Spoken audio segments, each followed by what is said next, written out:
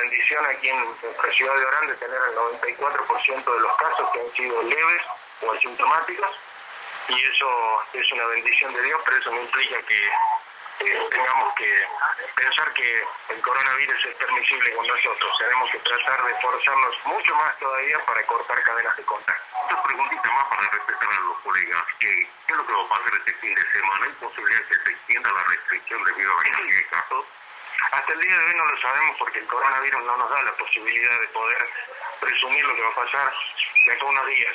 Eh, la decisión que se ha tomado, se ha tomado porque nosotros tenemos evidencia de circulación viral comunitaria en nuestro departamento y, y durante la semana se han presentado casos, como bien ustedes saben, es previsible que aparezcan otros más y eso hace presumir que sea en la posibilidad de lo que se baraje durante el fin de semana eh, la extensión a otros siete días es una de las posibilidades, pero no podemos decir hoy que eso sea un hecho concreto.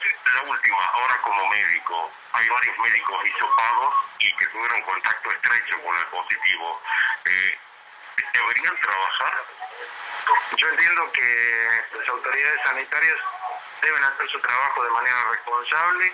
Si los, si los médicos han estado eh, en contacto y ya estos médicos que han dado positivos deben tener un aislamiento porque es lo que todos los casos positivos requieren, un aislamiento estricto, como así también establecer la cantidad de contactos que hayan estado con ellos en estos días que también deben ir a un estricto aislamiento.